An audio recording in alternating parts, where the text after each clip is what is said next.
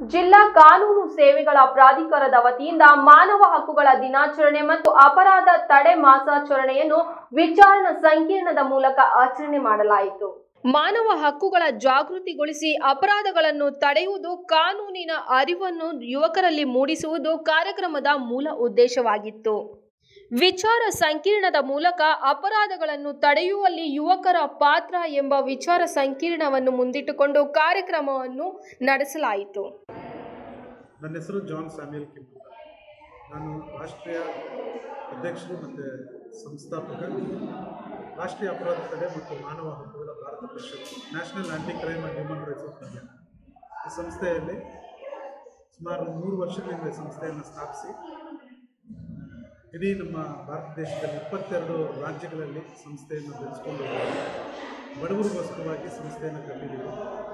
ಈ ಸಂಸ್ಥೆಯಲ್ಲಿ ಬಂದ್ಬಿಟ್ಟು ಪ್ರತಿಯೊಬ್ಬರಿಗೂ ನಾವು ನ್ಯಾಯ ಕೊಡಿಸೋದಕ್ಕೋಸ್ಕರವಾಗಿ ಎಲ್ಲಿ ಭ್ರಷ್ಟಾಚಾರ ಮತ್ತು ಅಪರಾಧ, ಅಪರಾಧವನ್ನು ತಡೆದು ಭ್ರಷ್ಟಾಚಾರ ನಿರ್ಮೂಲ ಮಾಡಿ ನಮ್ಮ ದೇಶವನ್ನು ಒಂದು ಒಳ್ಳೆಯ ಉತ್ತಮ ದೇಶವಾಗಿ, ಪವಿತ್ರವಾದ ದೇಶವಾಗಿ ಬದಲಾಯಿಸೋದಕ್ಕೋಸ್ಕರವಾಗಿ ನಾವು ಈ ಸಂಸ್ಥೆಯನ್ನು ನೀತಿ ಆಯೋಗ ಎಂಬ ಭಾರತ ಸರ್ಕಾರದ ಅಡಿ, ಸರ್ಕಾರದ ಅಡಿಯಲ್ಲಿ ನೋಂದಣಿ ಮಾಡ್ತಿದ್ದೀವಿ ನೀತಿ ಆಯೋಗ ಅಂದರೆ national institute of transforming India ಅಂದರೆ ಭಾರತ ದೇಶವನ್ನು ಒಂದು ಉತ್ತಮ ದೇಶವಾಗಿ ಪರಿವರ್ತನೆ ಮಾಡಬೇಕು ಅನ್ನೋದು ಆ ಒಂದು ನೀತಿ ಆಯೋಗದ ಉದ್ದೇಶ.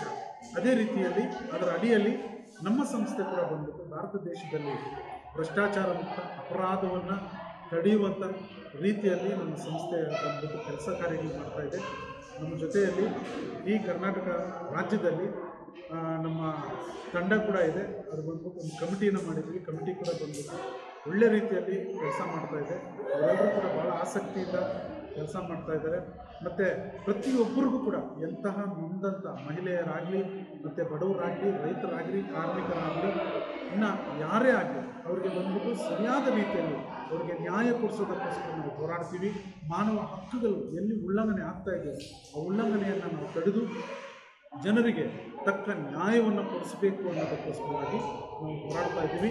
ನಮ್ಮ ಒಂದು ಈ ಸಂಸ್ಥೆ ಬೆಳ್ಕೊಂಡು ಹೋಗ್ತಾ ಇದೆ. ಇನ್ನು ಎಷ್ಟೋ ಜನ ಪದಾಧಿಕಾರಿಗಳು ಸೇರ್ಪಡೆ ಆಗ್ತಾ ಇದ್ದಾರೆ. ಇನ್ನು ರಾಜ್ಯಗಳಲ್ಲಿ ಕೂಡ, ಕೆಲವು ರಾಜ್ಯಗಳು ಕೂಡ ಮುಂದೆ ಬರ್ತಾ ಇದೆ ಈ ಸಂಸ್ಥೆಯಲ್ಲಿ ಸೇರ್ಪಡೆ ಆಗೋದಕ್ಕೆ.